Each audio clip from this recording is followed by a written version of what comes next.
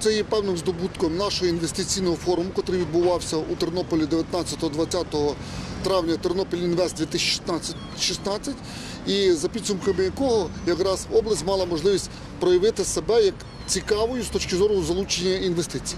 Саме тому і вийшла ініціатива з боку Ярослави Хортяні. Ми підійшли до висновку, що краще оптимальний варіант буде проведення подібного заходу на базі е, угорського парламенту десь приблизно в жовтні місяці цього року.